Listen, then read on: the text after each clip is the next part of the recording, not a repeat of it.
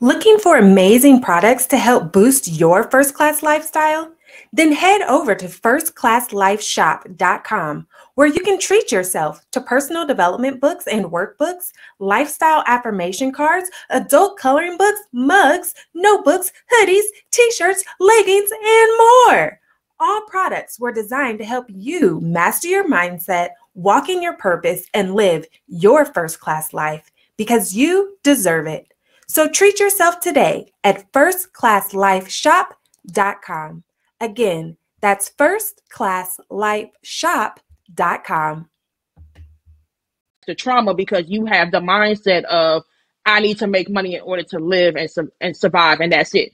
I can't I can't enjoy luxuries. I can't enjoy the fine things in life because I make money to survive. Period. But when you actually rewire your brain to say, I make money to enjoy my life and to enjoy riches, enjoy my family, and to pay off anything that I need to pay off, your mind about money really changes. Like mindset is so real. Like the power of the tongue is so phenomenal. That's why, like, as I've gotten older, I do not play that. Like, do not come around spewing any negative nothing. Like, I, if you had a bad day, just please go to sleep before you talk to me. Like I, I cannot, I cannot deal because you are a reflection of the people you hang around. You are also a reflection of the words that they speak. You're listening to the First Class Life Show hosted by Lindsey Vertner, a holistic personal development show for high achieving leaders who desire to maximize their impact while creating a life full of purpose, fulfillment, and happiness. So grab a drink, grab your notebook, and let's get started.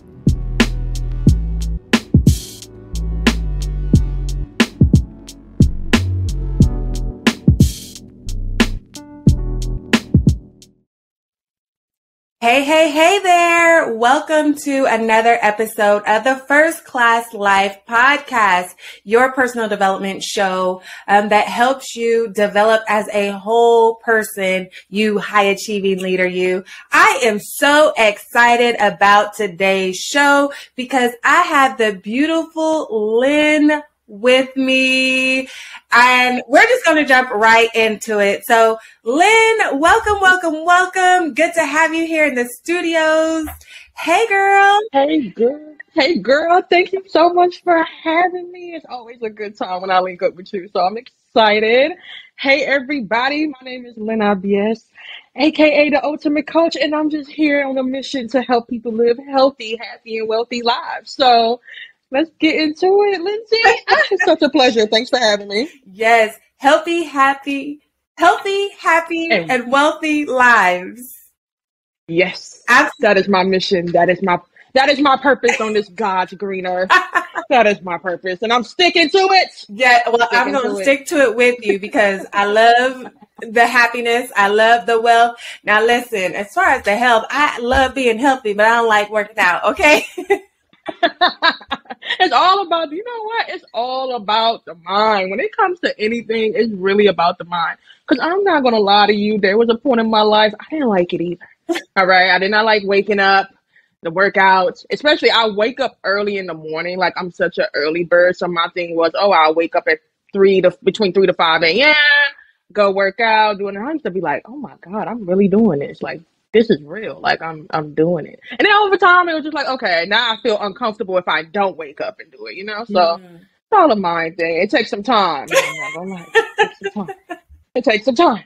But with time comes progress. With progress comes success. So it is what it is, you know? Yeah. One of those things. With time comes progress. Come with progress comes success. Like Look, already dropping gems, and, and we just getting started. like, so love to hear, man. As we just hop into this conversation, tell the listeners, the viewers, just a little bit about yourself.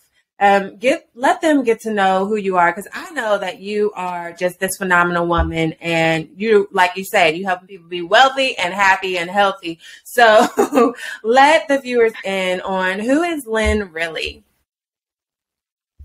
Well, well, well, well. All right. So a little bit about me. Let's just say, oh, so for one, I'm 26 years old, and I, I really feel like I have to drop my age now because people think I'm just so much older than what I am, and I appreciate it. You know, Thank you. However, no, I'm only 26 years old. All right, I'm married. I started the entrepreneur space back in 2018, right after I transitioned out of the military. Um, started off doing it's so crazy because I actually had a reflection moment yesterday that we could talk about later. But I actually started in the entrepreneur space back in 2018, and I started off in the beauty industry. So I was doing lashes, um, makeup, things like that, and that's actually how I made my first ever six figures ever. A lot of people thought it was because of me when I started tapping into the investing side. So after I left the beauty industry. I won't say I left, but after I kind of took a pause from it. I gotta pause you. Know, you. Little... I gotta pause you for a second. So you was making six figures selling lashes? Not doing lashes. So I was doing lashes like the little individual mink lashes and makeup. Like that was like my thing. It was like what was it even called? Minks and makeup by Lynn Yes. Like I still have my original business card to this day. It's crazy. No, it was Fabulash. Fabulash is what it was called. It was Fabulash Minks and Makeup by Lynn Abies. And I think I was about two, I was 21 going on 22, I believe. And I made my very first six figures. And after that, it was uphill. It was literally uphill from there. And it happened very quickly. Like I think it happened within like six months. It was crazy. And keep in mind, I was just transitioning out the military. Anybody who's ever been in the military or ever got out of the military per se, you know once that check stops, stops. Okay. And I was not in the business of being broke. I do not not I do not not like having money. Okay. I just don't. I just cannot live my life like that. I it, it, it does something to me and it ain't the best thing. All right. So I had to think about it and think about it quick. So once I was out when I was actually in the military, there's this process called ACAP, and it just pretty much teaches you how to be a civilian again, in a sense. And when I was going through that process, I actually was going um through esthetician school. So I had literally just like literally I'm getting out of the military in one month. Literally like weeks prior to me getting out, I had graduated esthetician school and I was like, all right, I'm about to do something with this because I cannot be broke and I still got bills at the end of the day. So we had to figure it out. Um, once I launched that, I actually took a break from it just off the strength of my husband. He's still currently in the army and he was supposed to go somewhere. We ended up not going, whole little story behind itself. But um, I took a break from it and I started investing and I tapped into the foreign exchange market, cryptocurrency, all, all those good things. And then that's when I started making more than just six figures. So it literally has been like a good financial uproar, if you will, like a nice little step, step, step, step of more money, more abundance, and all that good thing. Which I'm grateful for because, you know, the same way you can get things, the same way it can be taken away from you. But it's definitely been a journey. It's definitely been. I won't sit here and say it was an easy journey because it was not, but it was a very disciplined journey, and it was a mm-hmm. very self-taught journey, and it was a very much so a learning progress, which I'm still going through, which I feel like we all as people still go through. You know, like we're I always believe in the term that I'm a student always, and I actually got that from an old forex mentor of mine.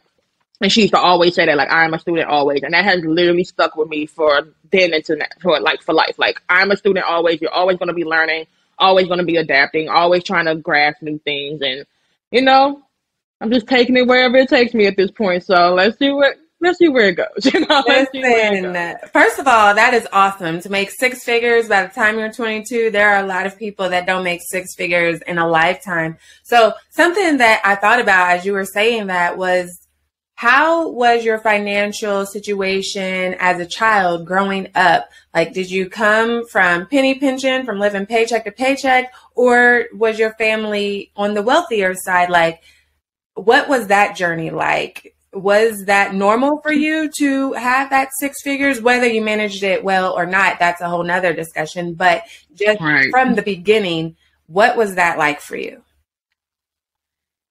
You know what's so funny? I actually had this question to myself a few months ago.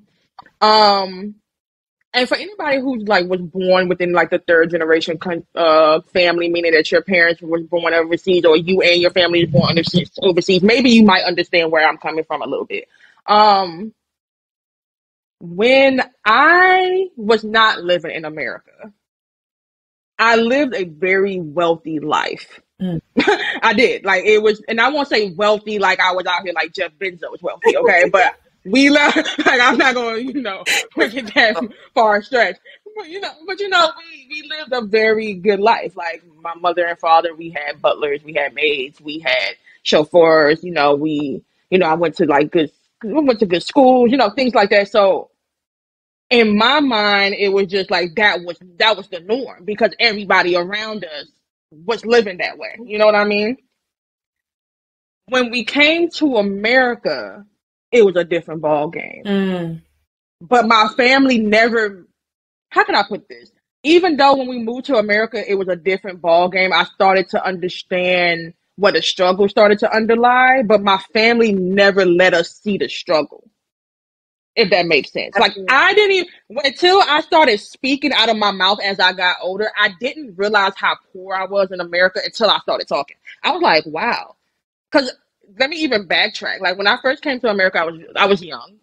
Um, fun fact about me, I had to watch Sesame Street just to learn English to go to school. Okay. Like it was like it was that deep. Like it was like, girl, you start school in three months and if you don't know how to speak English, you're not going. So Where are you I, from? watching I'm actually originally from Nigeria, Benin City. So oh. yeah, that's that's my little progress there. Um, but I had to learn English through Sesame Street. You guys, that's a very fun fact about me. So anybody who knows me know I am like team Sesame Street. That is like a dream of mine to like be on an episode of Sesame Street. Me and Elmo just buddy buddying up, you know, having a good little conversation. But nonetheless, yeah, like I had to learn English very quickly. Um, and you know, over time as we moved to different states and different places, uh, right before I transitioned and you know went to the army and things like that, I moved to Brooklyn, New York, and you know, at one point we had a house, but then we ended up downsizing for whatever reason, mm-hmm. and it was me.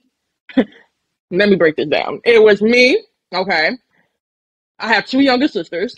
All right, I have my mom, my dad, my uncle, and my grandmother seven of us in a two bedroom, one bathroom apartment. and the crazy thing is, I never felt poor. I did not feel like I was, I didn't want, I didn't lack for anything. And that's the crazy part. Like, I didn't realize how poor in a sense. Because like when I say this to other people, they're like, "Dang, you really came from the struggle," and but I never felt that struggle. Mm-hmm. You know what I mean? Like my family never made me. They never made it seem like we were poor. Because if I asked for anything, I always got it for the most part. You know what I'm saying? So it, I never felt that sense of. Oh, I had to get it out the mud, and I had to. Nah, I, not, we. I didn't lack. But when I got older, I realized that wow, we really kind of did get it out the mud. you know what I'm saying? Like we, we really did have to go through some some stuff. Okay, we went through some shit. So I was like, but I never saw it that way. And it's so crazy when I got older and I started understanding, you know, why my family decided to downsize and you know all these other things. And remind you, my uncle and grandmother was only there to help take care of us while my parents went to work mm-hmm. and you know, things like that. And I was still in school, and me and my siblings, we were about like 13, 16 years apart, you know. So it it would yeah, it was a lot of people in a one little ass apartment, but we made it work, you know. Like we made it work. We didn't lack for anything. If we needed anything, we, we still got it. So yeah, I hope that answered the question. I know that sounds like very around about, but that's really the god honest truth. Like I I never felt like I lacked. And as far as like the financial literacy um side, I can honestly say, for the most part, especially my mom, mm-hmm. really instilled in me financial literacy. Like I remember being. Now we gonna tell some secrets, all right? So, so we grown now. hey. But now when I when I was look, when I was about seven years old, now I was out here signing checks. Like I mean, like my mom would sit me down at the table, and I'm, I'm pretty sure there's some people who probably went through this. If I'm the only one there, but I sat down at the table, and I remember my mom being like, "Okay, well, these, this bill is due, this bill is due." This is when back in the day they had checks. Mm-hmm. Like their parents, real live, had checkbooks, and they had to balance their checks. Balance right? That is their and all that. Okay. So I remember my mom literally sitting me down, like, okay, I need you to sign these checks for me because I'm tired. I just got off of work and these are the bills that's due. This is how much it's worth. This is how you sign the check. This is how you put my little signature on the check. Okay. So get to it. And I remember being like seven, eight, just signing checks. So I remember the very first check I ever received. Um, I just remember looking at it. I'm like, oh, I know what this is, and it's crazy because like a lot of my peers didn't know how to sign their checks or how to cash their checks. Mm-hmm. But I always thought like this is stuff that people already knew. You know what I mean? Like I thought it was normal because my mom taught me at such a young age, like how to balance your checkbooks, how to know which bill is due, how to sign a checkbook, how to write a check. You know how to know if your check bounced. You know, like she she instilled that in me at such a young age, and even like my dad, like you know, he really wasn't big on, you know, balancing the checkbooks, but he was very much so big on you cannot leave this house without a certain amount of money on you because God forbid mm-hmm. something happens to you, you need to be able to, you know, maneuver and not, you know, he called it the beggar's mindset, I guess. But he was just really big on he was really big on us never having to ask anybody for anything because him as a man and a provider, that's what I have him for. You know what I right. mean? So he was he always had that mindset instilled in us. And we're all girls, you know what I mean? So he was really not with that, oh, you asking anybody for anything as long as I'm alive. So he was just always like, you know, here's this amount of money, this is what you're going to school with, you know, if something happens, then I know that at least you know how to get from point A to point B by yourself, and you're not like stranded or you know whatever the case may be. And even like with other family members, they kind of put their own little twist into that too, and always instilling us like you know make sure you have money and make sure you're successful and make sure you know we didn't come to this country for nothing, so just make sure you're really on your game and work hard and you know go to school and push, push, push until you know the, that door opens for you, and you know you're gonna be rich and you're gonna be successful. Like they always poured that into me. So when I got older, it was really like, all right, like you, you gotta you got to. Like you don't you don't have a choice. Like you you you have to you either gonna be rich or you're gonna die broke. And i cannot die broke because my family will attack me. Like that was just my whole mindset you know? So it was just like get it together, girl. Like you have. I so, love that for you because I think that just goes to show how you were able to accumulate six figures by the time you're 22 because you had that instilled with you. Now, I don't want any listeners or anything to feel bad because you know we don't yeah know absolutely. don't know right? And so i remember whenever it was kind of a wake up call whenever I had went to college and then I was hit with these different things or you know just understanding like savings accounts and investments and all of those different areas financially. And there was a, a quick moment where I was like well I'm mad at my mama because she never put like set me up no trust or have have any savings for me. But then I had to check myself, and I was like, wait, I can't be mad at her for her not teaching me something that know. she didn't know. And so, you know, kudos again to you for having that that background where people poured into you financially. Um, now, before we continue with that, I, I definitely want to point out the mindset of it because you talked about you didn't feel the struggle, you didn't feel poor. And I think that is very key to point out the mindset of happiness and the mindset of abundance. And uh, the analogy, the visual that I can think of is like us being in this first world country if we were to look on TV or, you know, see a village that maybe lives in huts or, you know, doesn't drive cars and have all the electronics and all of the things that we have in these first world countries, we look at them kind of often pity them like, oh man, that must suck. But then if you actually look, they're some of the happiest communities uh, and it's like, well, how can they be happy when they're living in dirt type of thing? Or even when you see homeless people and, and they're, they're just happy and just joyful and abundant. And that goes to show it's a mindset. Money does not buy happiness. It definitely buys comfort and it definitely can make things a lot easier, but it overall, it doesn't buy happiness. And so I love that you said, even though y'all were broke when y'all came to America, you didn't feel that at all. And I think that just goes to show with the the people pouring into you, not allowing you to feel that and just keeping you um, spiritually and emotionally safe that where you didn't feel broke. right.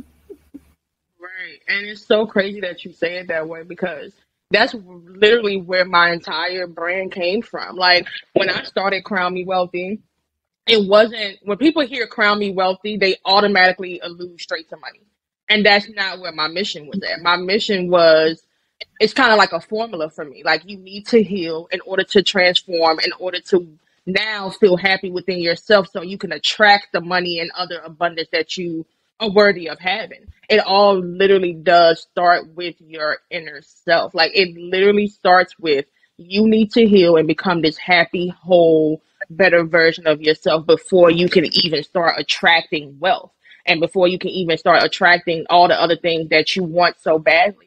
You know, if you're not happy within yourself, you're not going to try to do the things that make you healthy. If you're not healthy, then you're not even going to live long enough to enjoy your wealth. You know what I mean? So that's where my Crown Me Wealthy brand really stems from. Like just really having you understand that you have to be happy and whole first and healthy first so before you can even enjoy the money because i don't care how and I, i'm literally a walking testimony of this like it doesn't matter how much money you have if you're not happy, if you're not healthy, if you're not healed from things that you're still trying to not talk about or release or, you know, transform into this bigger version of yourself, bigger and better version of yourself, you're never going to attract your wealth. Like you are what you attract. So if you are still stemming in bullshit, you're going to attract bullshit. If you're going to stem and walk and talk and breathe like the wealthy person that you are desired to be, you're going to attract wealth. And as I got older and started understanding money mindset, because we know this, but a lot of people don't. Like you, there is such thing as you know having trauma with money, mm-hmm. and I feel like people equate money with trauma. Like in order for me to live, I need money, which is true. But a lot of people have it in the mindset like if I don't make this certain amount, I can't pay my bills, and now I'm in debt, and and it just becomes this spiral thing. And now you're money always attracts the trauma because you have the mindset of I need to make money in order to live and su- and survive, and that's it. I can't I can't enjoy luxuries. I can't enjoy the fine things in life because I make money to survive. Period. But when you actually rewire your brain to say, I make money to enjoy my life and to enjoy riches, enjoy my family, and to pay off anything that I need to pay off, your mind about money really changes. Like mindset is so real. Like the power of the tongue is so phenomenal. That's why, like, as I've gotten older, I do not play that. Like, do not come around me spewing any negative nothing. Like, I, if you had a bad day, just please go to sleep before you talk to me. Like, I, I cannot, I cannot deal because you are a reflection of the people you hang around. You are also a reflection of the words that they speak. I do not have time. All right. I do not have time. So if you know you're going through a bad day, please go to sleep, wake up, let's try again tomorrow. All right. If you know that you just have a certain mindset, please respectfully, you cool, but you got to stay over there because it's just like, like I said, like you're a reflection of the people that you hang around, but you're also a reflection of the words that they speak because distracted people distract people. Mm. And you cannot distract me. I don't have time for that. Like I'm like I'm on a mission to like I said, I'm on a mission to help people that want to be helped become healthy, happy, whole, and wealthy. If you are not in alignment with that in no type of way, shape, or form, even if it's just not like regular support, if you're not in alignment with that, I love you, but you got Because I don't have like, like, like, life is too short to be playing with y'all. I do not have time. Listen, okay? you don't have time so, you no, said distracted people distract people. And uh, if that wasn't a gym for the people, I don't know what was. you have to be mindful of your surroundings. And uh, we know, we see you right here just glowing and happy and wealthy and healthy. And I know I keep saying those like just in all out of orders, but we see you and, cool. and we've heard some of your background, you know, just being poured into by your family. But I know personally that you haven't always had those moments where you felt happy. And so I kind of I want to pivot and go into that because I know that there's somebody listening like, all right, yeah, it's easier said than done. And they also may think like, oh, well, this person, they're just always happy. They don't ever have any struggles. And it's like, no, every single person is human. We all go through things. We all have our moments. We all have our ups and downs. And so flipping the script a little bit, we were just talking about mindset and happiness and, and building that from within. But I know that there was a time where you didn't feel like that. You had anxiety, Ooh, you had depression. Tell us a little bit about that. Yeah, and just like you said, you know, like please understand that whether it's myself, whether it's Lindsey, whether it's anybody that you see in this successful space that they're in now, understand that they got here because they deserve to be here. And if you see them walking and talking and acting like the wealthy person that they are, it's because they deserve it. You know what I'm saying? They went through something that was horrible and turned that faith into triumph. You know what I'm saying? So let's keep that in mind first and always keep that in mind when you're looking at people that's successful, right? So just to even piggyback on that, there was a very, and I'll talk about this, I won't say all the time, but I do discuss it now. It's more than I, not more than I should, but I do discuss it more because I feel like it's so important. Um, there was a time in my life that I was in such a dark place, such a dark place. And this happened back in 2017 while I was in the army, transitioning out the army, even a little bit after. Um, I was just in such a dark, dark place. I was overweight. Um, anybody who knew me before like 2000, probably like before I graduated high school, pretty much knew I was like pretty small, pretty, I had like a little athletic body for the most part. I mean, I wasn't like all snatched and courageous or nothing, but uh, you know, I, I, I looked alright. You know, I, you know, I was very small and things like that. So when I joined the army and as I was transitioning out, I gained a lot of weight. I think the heaviest I was was like 220, 20 or 25 pounds. And that was the heaviest I ever been in my entire life. Mm-hmm. Not only that, that was the most unhealthy I was ever in my entire life. And I was just going through, going through so much, um, within being in the military, and just like my family and just like my personal life and all that just kind of the spew into one and I just literally exploded. And there was a time that I tried to kill myself. It was bad. It happened in 2017. It was August of 2017. I would never forget it. So, and it's funny, it actually kind of replayed in my mind a little bit um the other day and I kind of like had to even tell myself like wow like you came through so much but just to kind of deep into the story uh back in August in 2017 I pretty much had to go to the psych ward. All right, this is me being completely transparent with y'all. Like I'm about to tell y'all exactly like how this played out. Um, I had a doctor's appointment. Funny enough, I had a doctor's appointment, and anybody who, especially if you go through military doctors, the they the first thing they always ask you is, "Are you, are you mentally okay? Are you trying to kill yourself?" And I was on my way to my doctor's appointment. Kid you not, if you live in Hampton Roads, Virginia area, you know there's a bridge between Hampton and Virginia Beach. And I was driving through this bridge on my way to my appointment.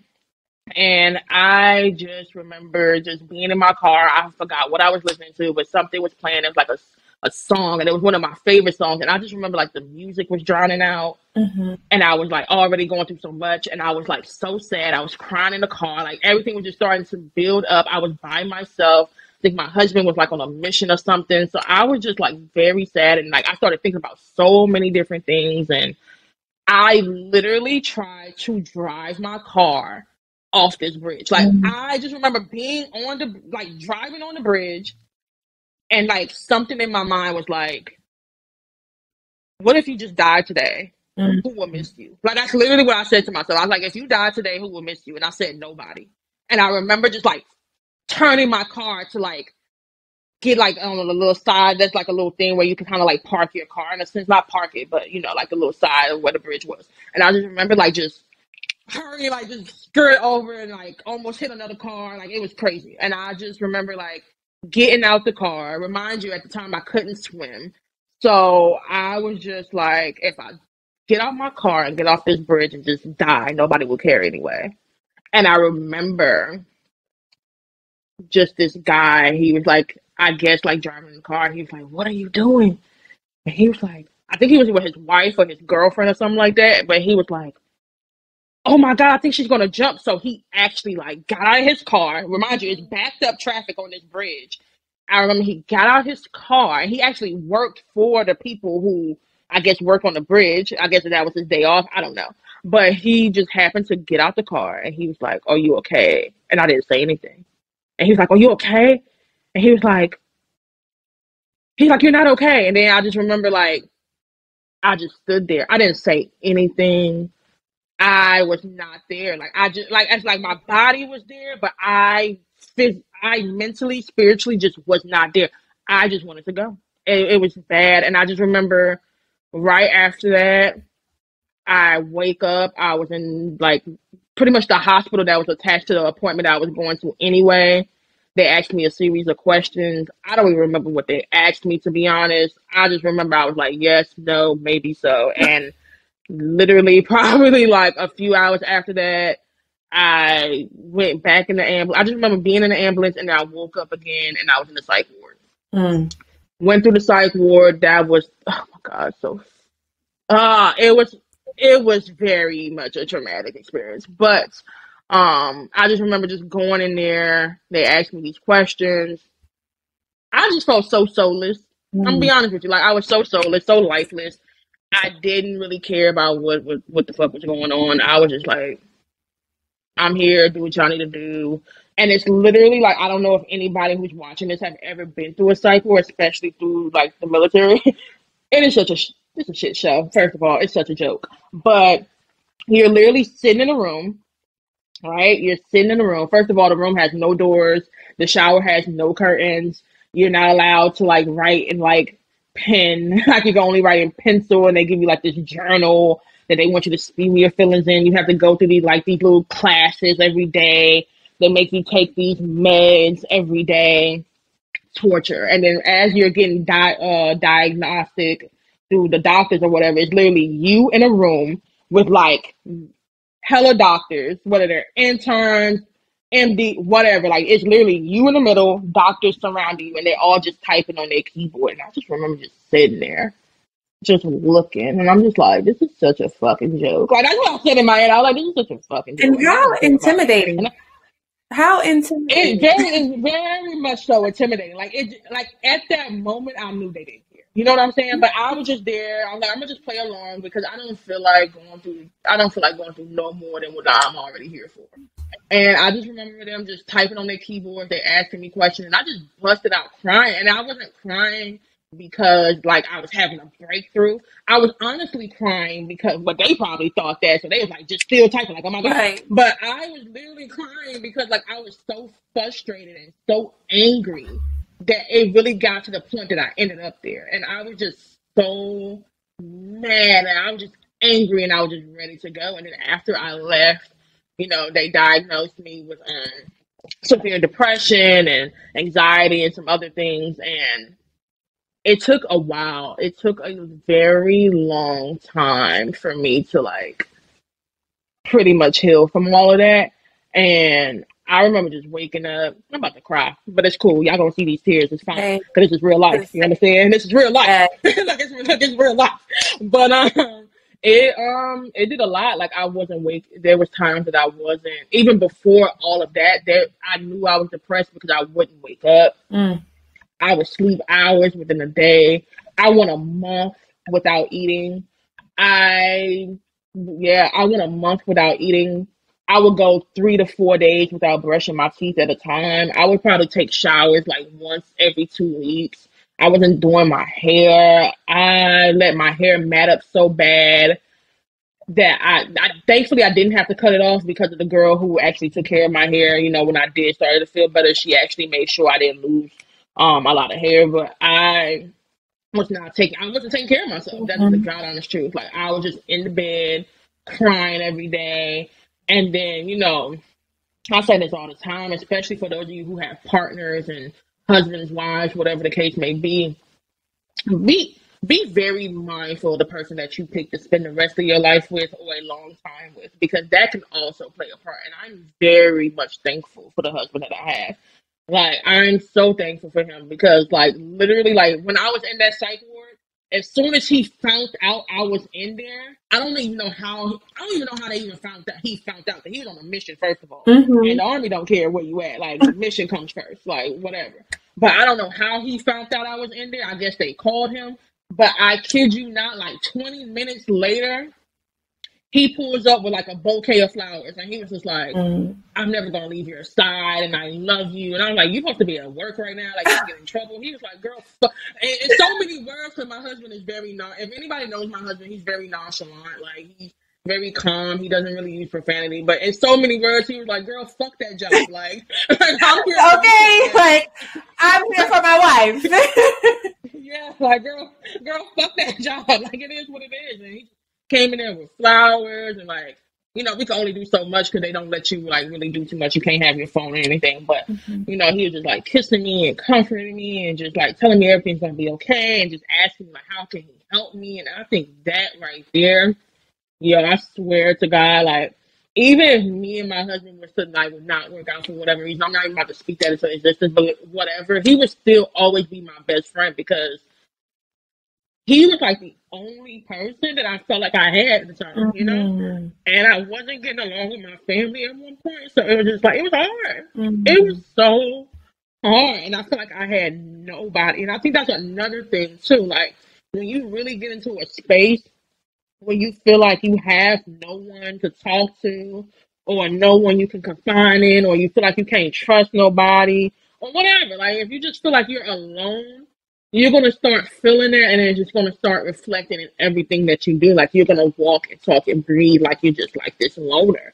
And that's just how I was. Like I just felt like I was so alone. I felt like I didn't have any friends and I felt like the people that I did have around me wouldn't even have understood where I was coming from, you know? So I just still once again, even being in a room of people, I always just felt alone for a while. And you know, anybody who saw me just, you know, they they swore up and down I was happy because I still always tried to not mm. really project my sadness on people. So I literally had to walk around every single day putting on the facade because that's what it was. Mm. I was putting on the facade every day, trying to be happy around others so they won't feel my sadness but still being sad in the process. And then I just felt even more alone. And at the end, I just started to crack because it was just like, this is just too much.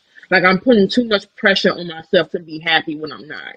And I just broke down and I just became depressed. And like I said, I wasn't eating, I wasn't drinking water, I wasn't, I wasn't doing anything. Like I was literally just in bed every day. And I just remember just being like one day I just woke up and it was like the next day. Like I remember sleeping for almost two days straight because I was just did not want to get up. Like the only time I would get up was to use the bathroom, maybe to brush my teeth, and come right back in bed. And I would have like I bought dark out curtains, you know, the curtains that just make your room black all the time. Like I bought those. So I just did not want to be fucking bothered. Like I was just over it. And then remind you, my husband still has to go to work every day. So I can only imagine what he had to go through because he has to go to work and deal with these motherfuckers. And then he had to come home and make sure, you know, me, him being a good man that he is, he, you know, came home trying to see if I was okay. So it was just like it was just a lot going on. And but I'm so thankful for him because at the end of the day, when I felt like I had nothing, he came through. Like and that's why it's so important like when you're like getting i know I, this is kind of off topic but for those of you who are in relationships looking for relationships whatever make sure you properly vet the person that you are trying to spend the rest of your life with or be in a long relationship with because that can literally make or break your situation. Like it literally can.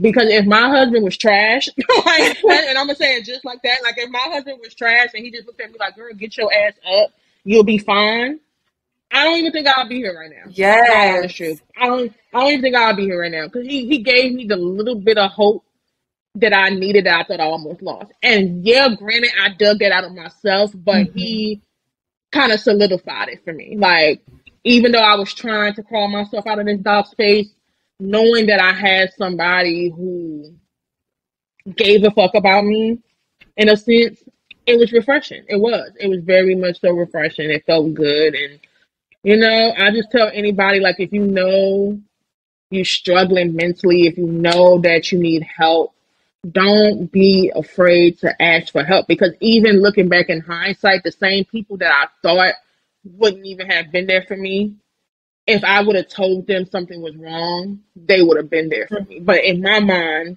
they would they wasn't. They wouldn't understand. You don't know. You don't get it. Da da da da.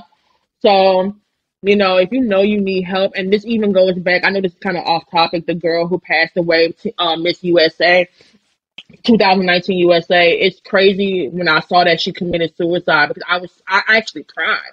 Mm-hmm. I didn't know her personally. You know what I mean? I didn't know her personally at I'm all. sure you probably resonated with that.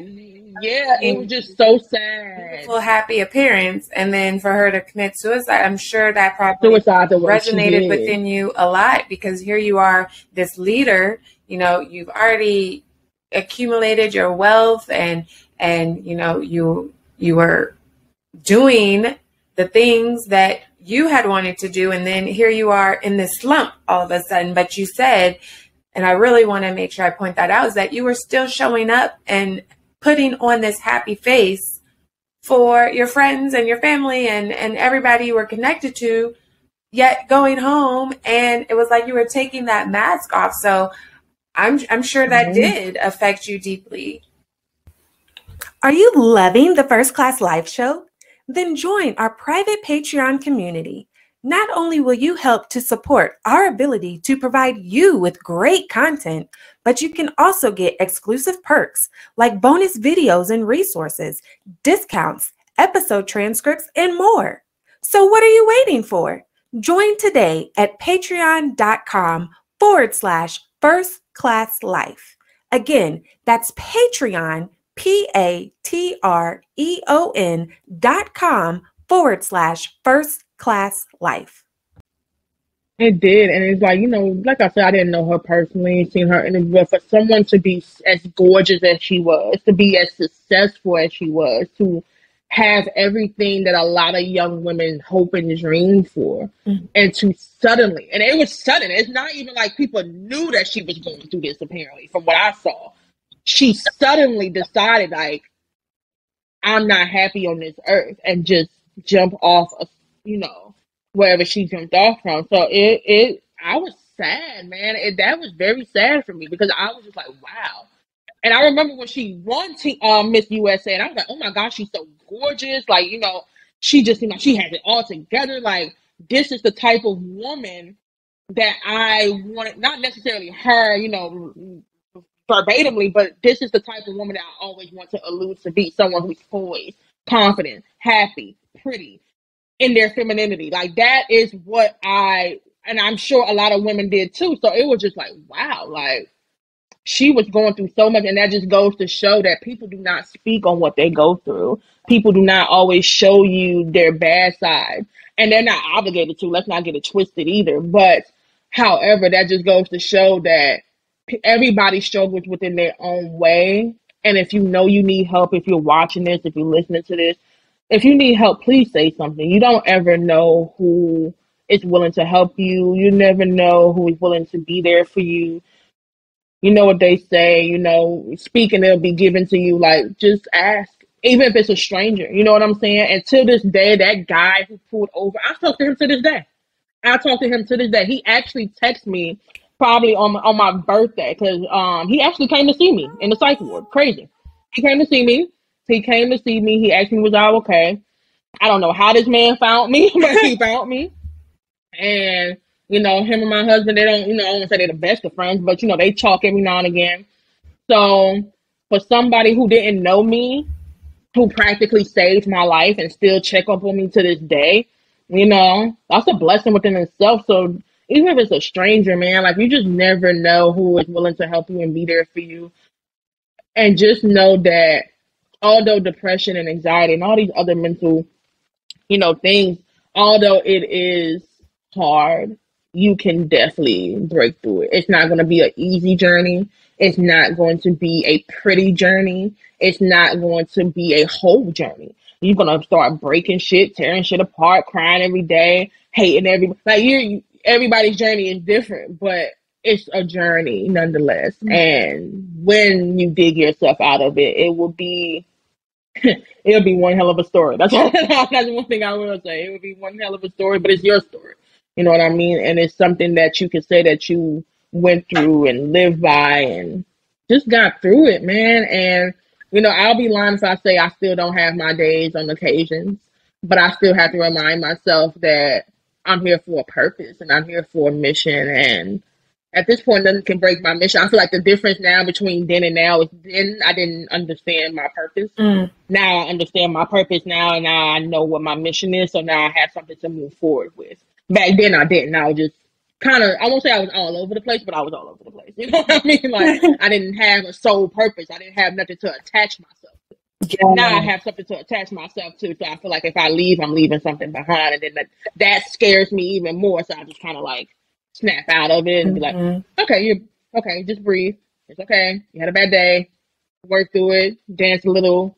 Be happy. Yeah. I didn't have that before. So now that I have that, it's, it's refreshing. It's cool. There were so many different points and avenues that we could turn from this discussion. Like, first of all, the divine timing with your angel, literally, that came and talked to you out of there. You know, the onset of like, you're just driving and then suddenly you're like, oh, wait, maybe I should die instead of continuing to drive this car. Just so many different points that we could veer off into. Like, I swear it doesn't feel like we we've talked this long and already it's like oh lynn i'm sure all of the listeners are just loving you loving you loving you um, but i really want to find out like what were those steps that helped you to essentially overcome uh, this depression because I know that a lot of people suffer in silence. And you already mentioned,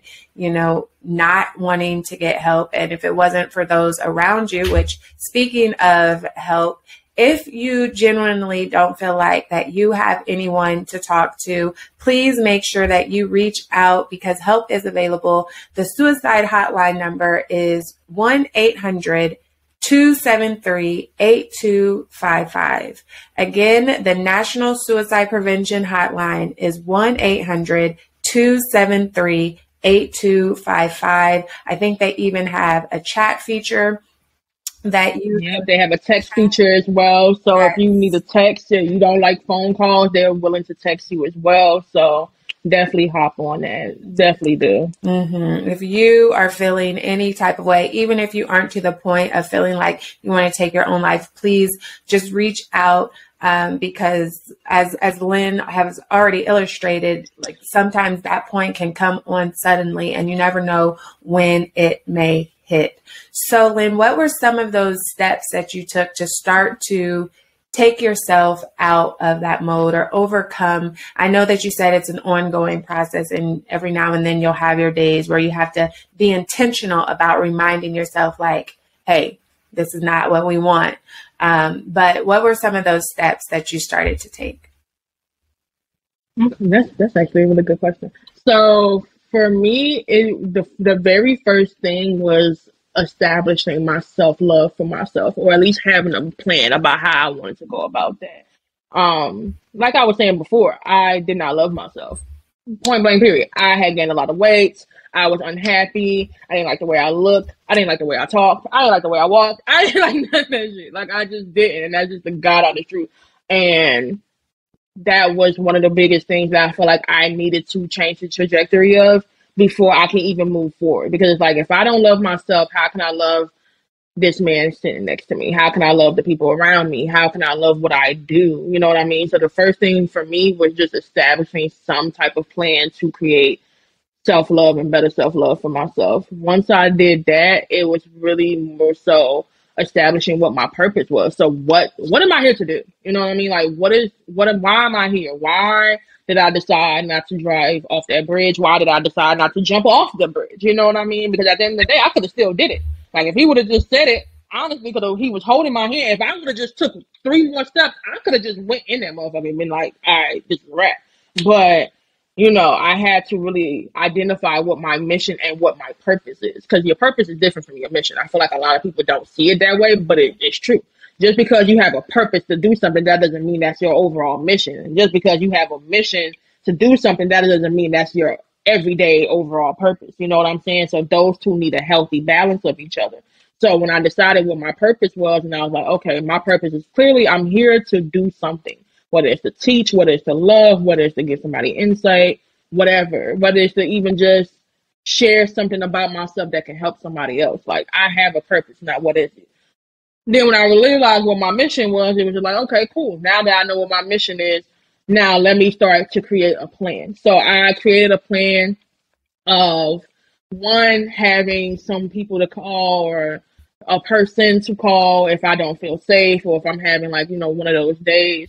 Um, getting out every day, even if and I, when I say getting out, I don't mean necessarily leaving my house. It took a it took a while for me to leave my house. I'm gonna be honest. Like it took a very long, very, very, very, very long time for me to leave my house. Okay, so we started off just me getting out of the bedroom and going into the living room. Okay, and I'm I'm being this is yo, yo this is me being honest. I don't I don't even, look. It was baby steps. I don't even think I've been this transparent about my journey in a long time. Listen, so the first thing I had to do was and let me point out very quickly for those that may have missed it because oftentimes we hold ourselves back because we feel like we have to have it all together. Like, let's say somebody in your same situation, they're not going to the grocery store and buying all their groceries. And so they feel like, well, I didn't do that. So I'm failing. But the fact that you said it started as simply going from the bedroom to the living room. And I always say progress is better than perfection.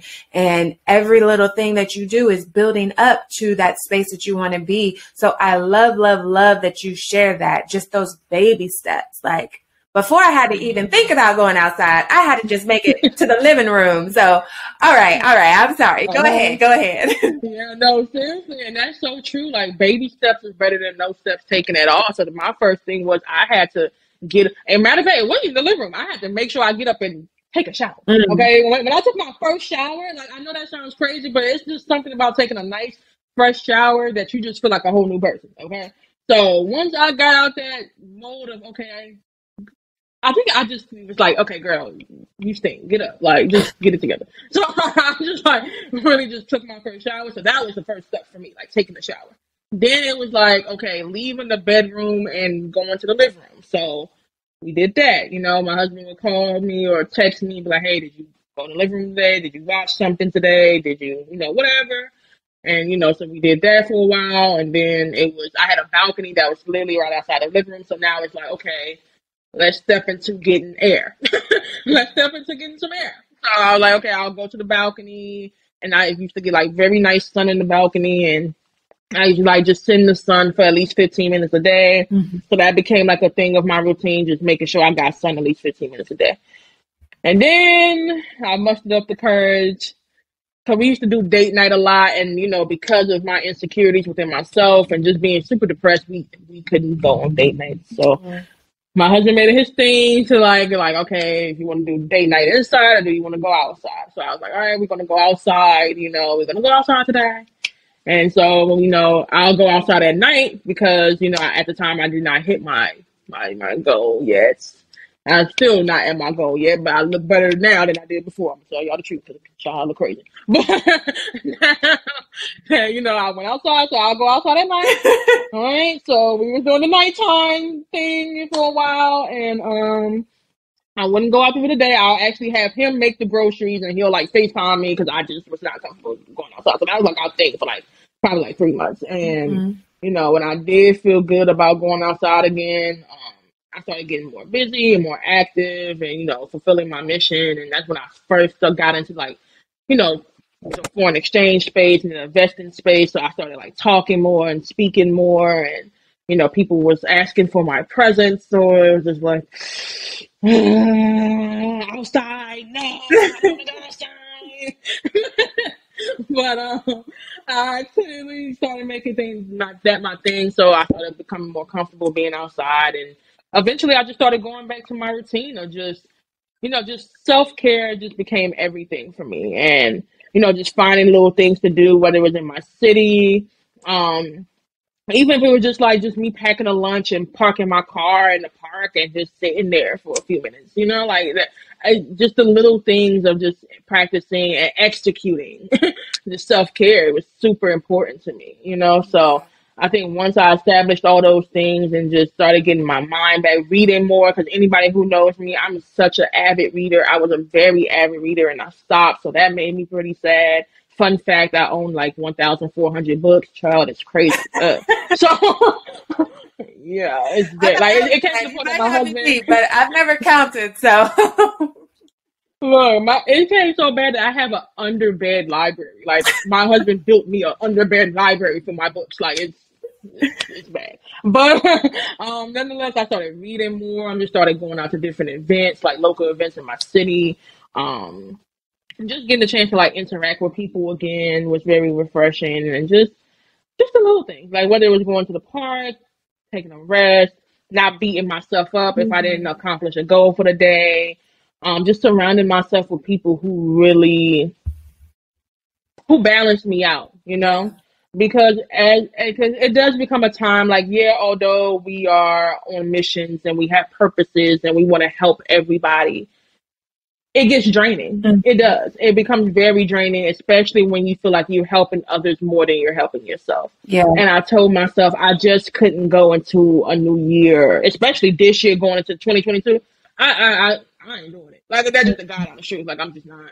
I'm not. Like if I feel like I have to, it's one thing to help you because it's to fulfill your fulfill my mission and to help you lead into your purpose. That's one thing. But if I'm over drowning myself to save you, that becomes a problem Exactly. and I don't have time for that. You know what I'm saying? Because at the end of the day, superheroes, which I don't even I don't even like that term superhero because I feel like at the end of the day, especially us as women, we have to we can't be wearing the S on our chest every day. Mm-hmm. We have to take the cape off. That is You know what I mean? whole So other discussion. I absolutely discussion. Like, Superwoman is a fictional character with fictional okay. characteristics and fictional qualities that oftentimes we try to live up to. So I absolutely agree with you there. And I just love that you took those baby steps. Like you didn't try to do it all at once.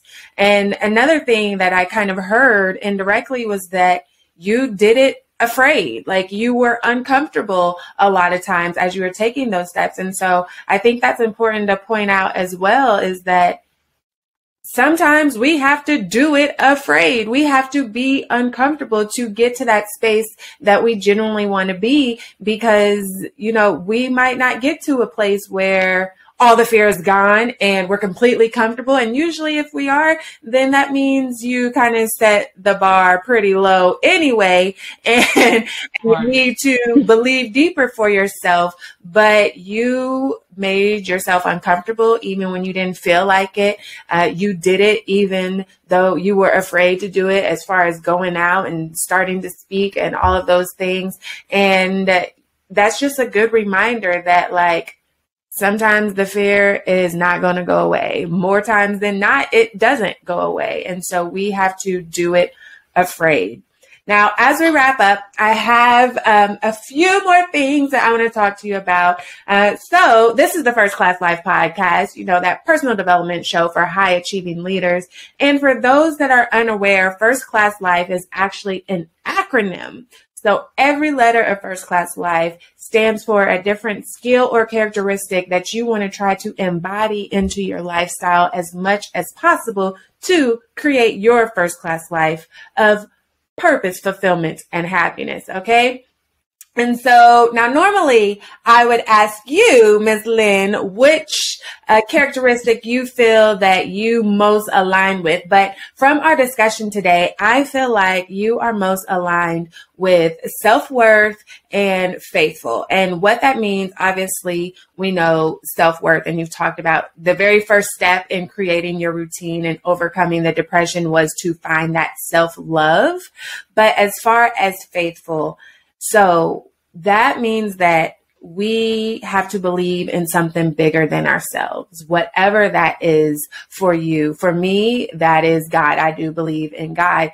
Um, but for whatever you, the listener, the viewer decides to believe in, it is so important to believe in something bigger than yourself because you talked a lot about once you identified your purpose and identified your mission, that helps you to push through. And so just having that faith that, you know, things don't look so great right now, but it's going to work out for my good. And I know that I have this calling on my life um, that I need to see out because if I were to take it right now, then someone somewhere is going to continue to suffer. And so just believing that, you know, I have a purpose, even if it doesn't seem like it right now, and then being willing to go get that purpose.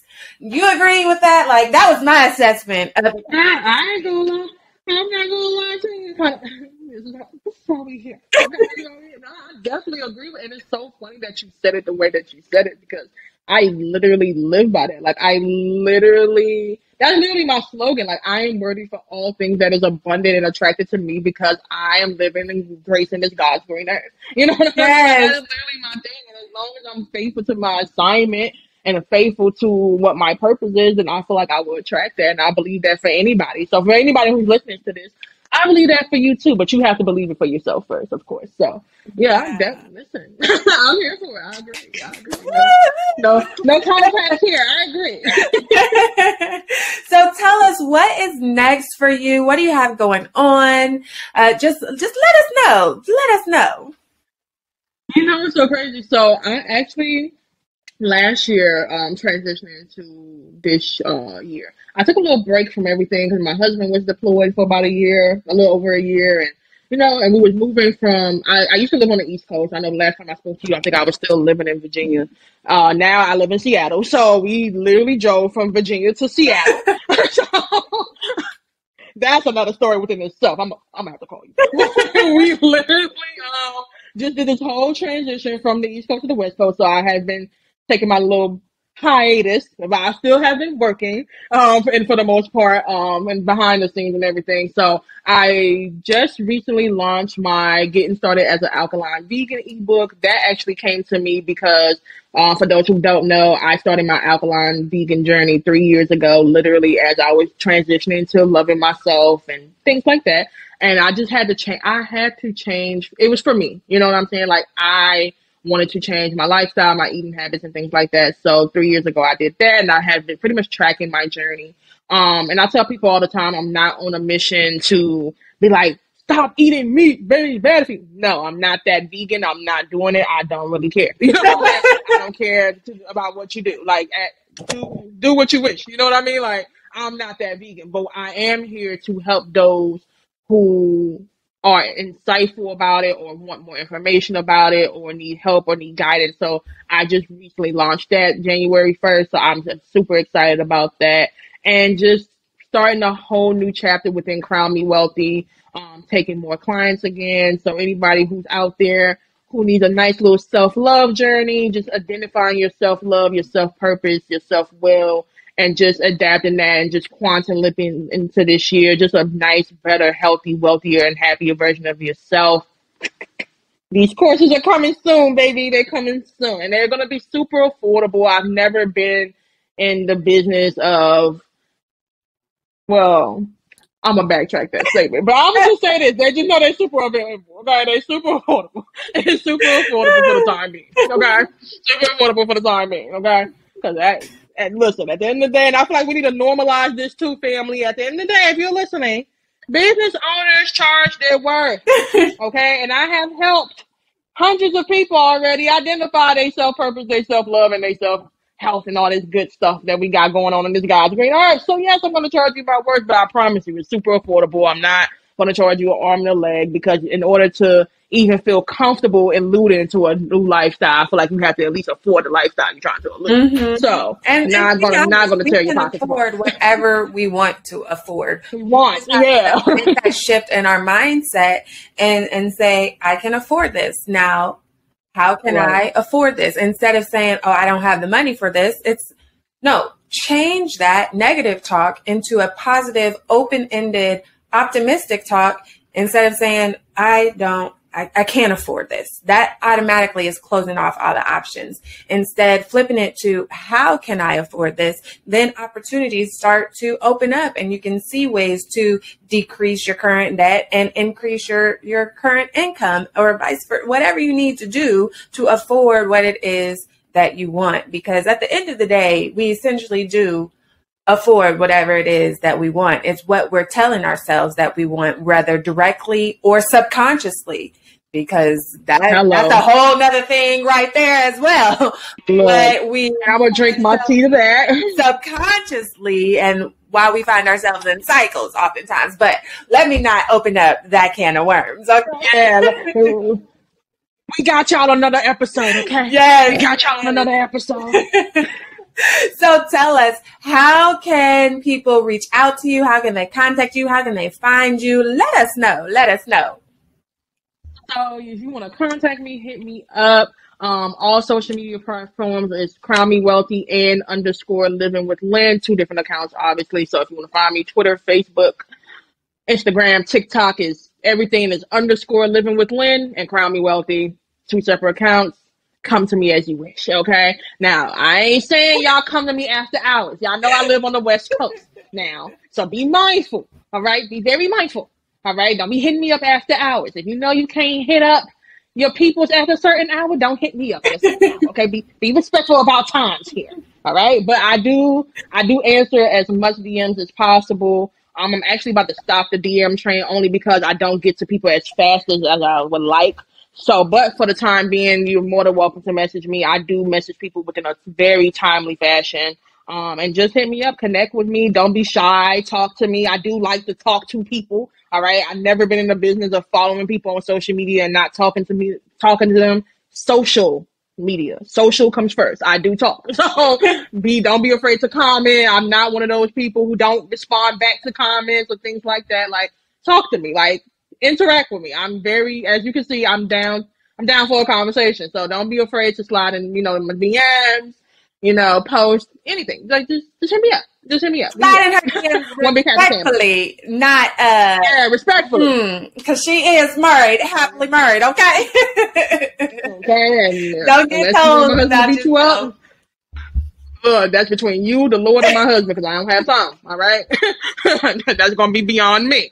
But um, other than that, feel free to respectfully in my DMs. Let's have conversations, comment on the post or two, like all that good stuff. All right. And I'm officially, oh, I forgot to tell you this. I didn't even tell you this.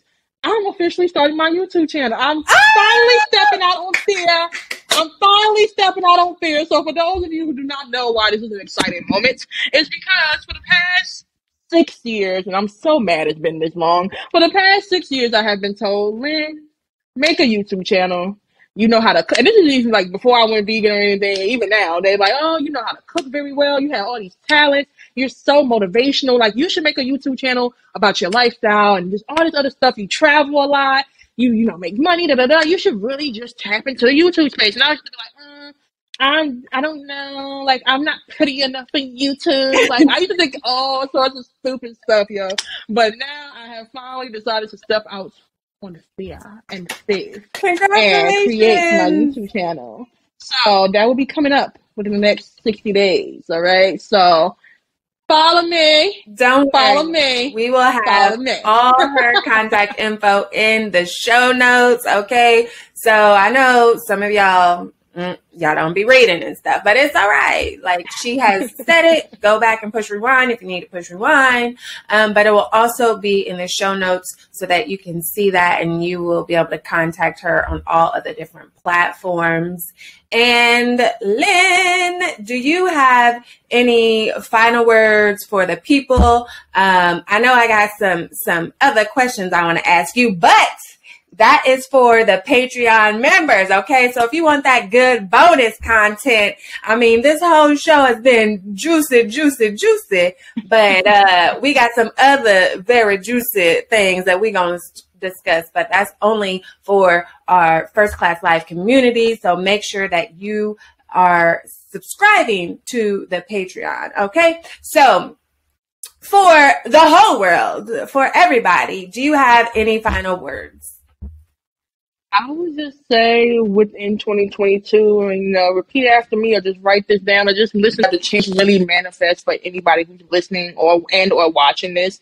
That 2022 is the year of triumph for you. That this year you will care a lot more about your health, your wealth, and your happiness, and that you will just trust in your intuition to guide you into the place that you're destined to be.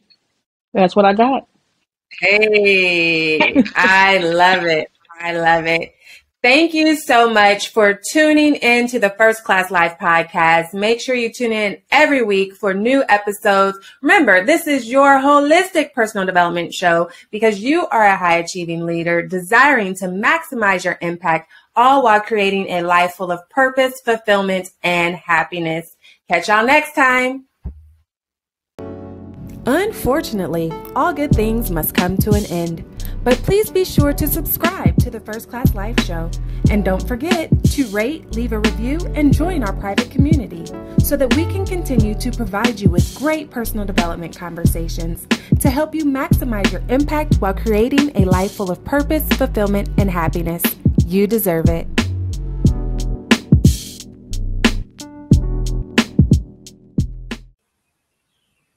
Do you want to be surrounded by other high achieving women who are working on their goals just like you? Are you looking for your circle that's passionate about their own growth yet still wants to see you shine? Do you desire to be supported through collaborations and connections instead of competition? Then Cowork and Chill is your place to be. Cowork and Chill is a hybrid of virtual co working and virtual networking. It's a community of women who are striving to build living legacies. This is the space to create meaningful relationships with other equally yoked women where you're being poured into just as much as you pour out. So if you're looking for your crew for supportive accountability, then sign up today at coworkandchill.com. That's C O W O R K A N D C H I L L coworkandchill.com.